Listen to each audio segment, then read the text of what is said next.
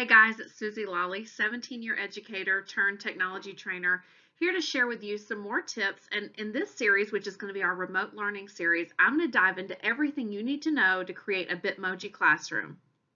So if you already have a Bitmoji, then you know why in the world you need a Bitmoji classroom, but maybe you don't. So I'm going to take this moment to convince you. A Bitmoji classroom is something that you can post in any kind of a virtual learning environment, whether you are doing a synchronous lesson, you can pull up your Bitmoji Classroom to show your students, or you can post it at the top of Canvas or at the top of Teams. I'm going to show you both of those at the end of this video. But it basically is a way to get your kids' attention, increase engagement. It's a way to host links or videos in a fun, easy to access way. And then I stand on the shoulders of giants. So some specific ways that you can use Bitmoji Classroom, you can just create your announcements or your agenda on it. That's the most basic one. You can have a little read aloud corner with clickable books. I'm going to show you some of these in just a minute. You can use it for centers. If you have kids go to different, maybe we're talking about teams, they go to different channels and teams, or in Canvas, they go to different modules and they complete a center that's that is hosted on one of these Bitmoji classrooms. You can feature student work. You can have a comedy club where kids send in a joke and they get to be featured on your Bitmoji classroom. Or you can have a seesaw link that goes there or screenshots of work that they do in your Bitmoji classroom. Or you can host a video of the day or a morning meeting. So if you want to know why, that's why. It gets the kids engaged, excited. You can do lots of things in it. But if you want to know how, that's what I want you to stay tuned for next. So are you one of the few people in the world who has not still made a Bitmoji? No, I'm just kidding. I don't know how many people in the world have made one or haven't. But if you haven't ever made one, you need to go on your phone first or your iPad and you need to download the Bitmoji app. You will have way too much fun. Think of it as virtual paper dolls. uh, making your face look like your face, adding all your features, and then getting to dress it. I am so boring because I've kept mine dressed the same way no matter the season for years and years, and I've kept her having asymmetrical hair. Once you have Bitmoji on your phone, then you can add it to your Chrome toolbar up here at the top. I just got it by going to the Chrome Web Store. I think I showed this in another video for something else. But if you go to the Chrome Web Store and you search Bitmoji, you can install Bitmoji on your task or on your toolbar up here at the top on your extensions bar. So I have Bitmoji, I've already dressed it on my phone, but when I log in here with that same login, it knows how I'm dressed, what my face looks like, and puts me in all kinds of situations. Now, not all of these are completely appropriate, so if you happen to see one that's weird, I'm not a weirdo. so I can search for a particular Bitmoji, and that's just how you create it. You're going to need a Bitmoji to put it in different scenes, which I'll show you examples of on the next clip. If you're here and you want to get a Bitmoji out, you just right click it and it'll say copy image. So I can copy that and put it wherever I want. So keep that in mind as we go through the examples. I want to walk you through some examples of where I learned about Bitmoji Classroom because I cannot take credit for things I didn't make up. I definitely, I think I came back from a vacation and somebody said, have you seen a Bitmoji Classroom? So I've put on this slide for you a a um, QR code if you want to pause the video, but do it later, like rewind. I want you to watch this first. But you can pause the video and you can come back and scan and get to this Wakelet collection. Wakelet's another story for another day. But there's a whole collection on different resources for creating Bitmoji classrooms. If After I show you how to do it, if you just want some things already done for you, you can find them here. But just some different examples I wanted to show you of how people have used them. You can tell when somebody's elementary and when I'm not because You'll see my classroom is a lot less, um, I don't know, a lot less stuff on the wall. But anyway, there's a Wakelet collection you can visit for a lot of resources that I want to show you. But I want to also show you a couple examples of Bitmoji classrooms I created. And I don't want to show you that toolbar. when I first learned about it, I learned about it in Google Slides. And so I created one that was like, if my house were clean and stylish, this is what it would look like. and when I present, um, then if I go full screen, you'll see that's kind of off. You know, I, am really proud of it. This is my signature color here. There's a video playing on the, um, you'll notice from my YouTube channel, you'll see a video playing on the whiteboard. And then I had another one that I set up that was more like if I were working in my classroom. You see I recycled some of the materials, but I definitely have like a teacup on my desk. That's a trademark of me. I love tea. And um, this was more like stack of papers on my desk because I was an English teacher. And this one, I, I wrote the agenda on the board and then different items were clickable on the agenda. So I'm going to show you how to do all this, but I wanted you to see some examples of mine. And then also to show you that when I uh, am working in PowerPoint, I can do the same thing. So I was able to take those same backgrounds and make them work in PowerPoint. So you want to know how? That's what I'm here to show you. Stay tuned. I'm focusing on PowerPoint in this tutorial, but a lot of these steps will apply to Google Slides. The reason I'm focusing on PowerPoint is because when I've done a search, and there may be more research resources now, but there was hardly anything on how to do it in PowerPoint. And I know a lot of people are using Office 365 integrations or the Teams, you know, Teams as their collaboration platform. And so PowerPoint works really well in that instance. And I wanted to show you the same things you can do in Google Slides with a Bitmoji Classroom, you can do in PowerPoint. Now, I want you to notice something else. I am in full PowerPoint. I'm not in Office 365 like the online version. I'm in the full app.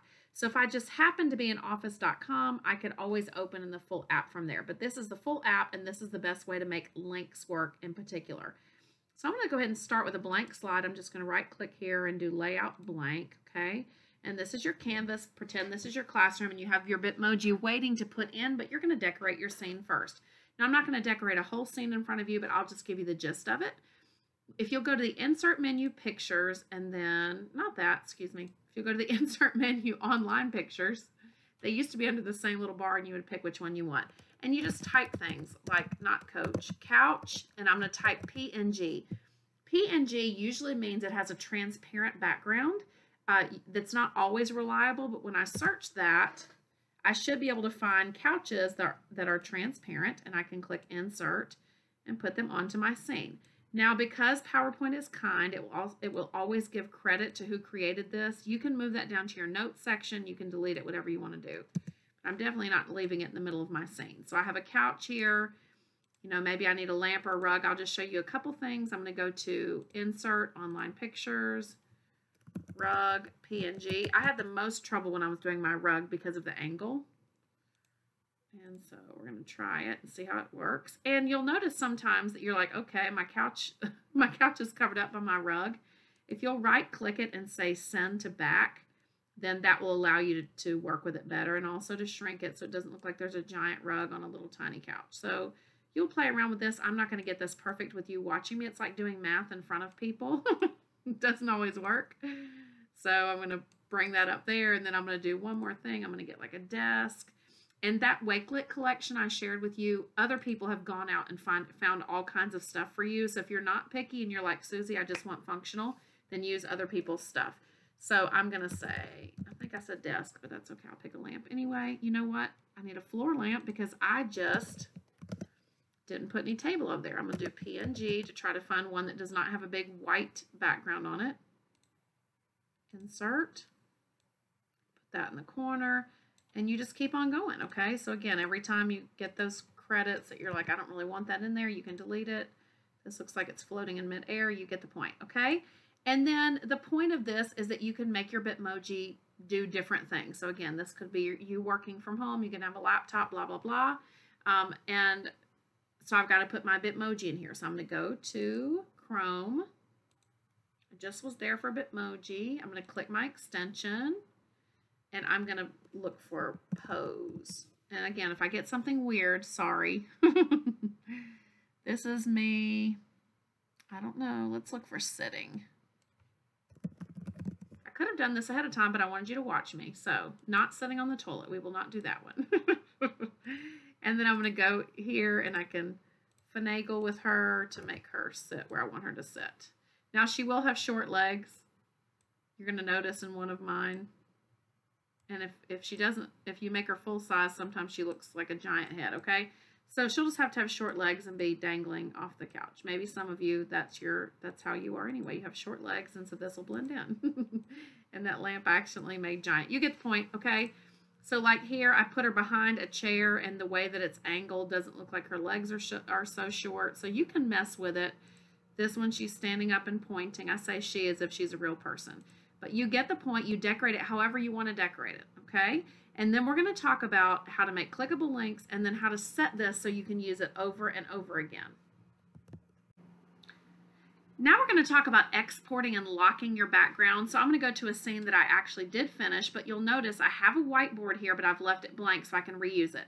So one reason you want to lock your background is so that every day that you make a new agenda, you don't have to delete the old agenda. You might need that for posterity's sake or for your students to reference later. I don't want to have to delete what I already created each time. The second thing is I'm going to show you how to set it as a background so that it can't be moved around. Like this slide's already been set as a background and I can't move this image around at all. Okay, so let me show you those two steps. First of all, if I want to save this as a picture, I've got it decorated exactly how I want it to be. I'm going to go to File, Export, change file type, choose JPEG, and save it. It'll ask you if you want to save just one or the whole presentation. I just choose one because I want to save a single image and I don't want it to do a zip file or anything like that. So I want you to pretend you have it saved. I'm going to pause and I'll show you that in just a minute. And now, say I've already used this before, I want to make it as a new agenda and I want to set it as the background. I'm going to do a new slide, Control M for more slides, and I'm going to do Insert, Picture. This time I did mean to do picture. I'm going to do desktop. I'm going to find where I did save it, and I called it Bitmoji Classroom Background, so that way it would for sure be um, a background. It came in the right size because I had already set it that way, but look, it's still movable, so I don't really want to do that. I'm going to instead show you how you can set it as a background. So I'm going to do right click on the background, format background, picture or texture fill, insert from a file because I saved mine on my desktop. I called it Bitmoji Classroom Background. And now that is not movable. So the way I showed you first, which so, sorry was a misstep honestly, was it could still be moved. That is how you save it as a picture. That part we got right, and I didn't want to start my recording over. Um, but how you set it as a background ensures that each time you use it, you can uh, not have to recreate it. And then another tip is just go ahead and duplicate this a few times so you've got it for future reference. So if I right click on the slide and click duplicate, duplicate, I'm sure there's a keyboard shortcut for that. You can let me know in the comments but now it's ready to go. Now, how do I get my clickable links on there? Well, I'm going to show you that. Stay tuned. So there are two types of main objects you can link to in PowerPoint. One of them is an image, and one of them is a set of words. Or you can paste an ugly link, but no, nobody probably wants to take time making a cute Bitmoji classroom and using an ugly link. So let me show you, for example, if I wanted words. I have already saved this, set it as my background, and then all I did here is add an invisible text box. When you add a text box from the insert menu, it doesn't have any lines around it, so you can type in it without it being tacky. So I wrote some words. Can I click this? I highlight over those and right click, and that's where my link menu is, and I just put in whatever link I want it to go to. Okay, I've already done that on this one. The same thing with an image. So I just took a screenshot from a video. You, you might have a video. Of course, this is my YouTube channel video, shameless plug. But if you had a different video you wanted them to go to, Bill Nye the Science Guy, whatever it is, you could take a screenshot of that as your linkable object. And then you still right click, go to link. Mine says edit because I've already put one in there. And then I made it go to YouTube or you can make it go wherever. So it's still clickable. Now the one caveat in PowerPoint, we're using again full PowerPoint, not Office 365 right here, is that if they want to just be able to directly click the links, they will have to put the push the slideshow button Otherwise, it's control plus click. It does tell them that when they hover, but that might just be a little nuance that you need to teach your students. I think it's a good life lesson anyway, since, since a lot of business uses PowerPoint. If you watched my series on Canvas for Littles, I've already made a whole video on how to import your Bitmoji Classroom into Canvas with clickable links. So you see a thumbnail at the top of the screen that'll show you what video to look for, and I'll also try to link it in the description box below.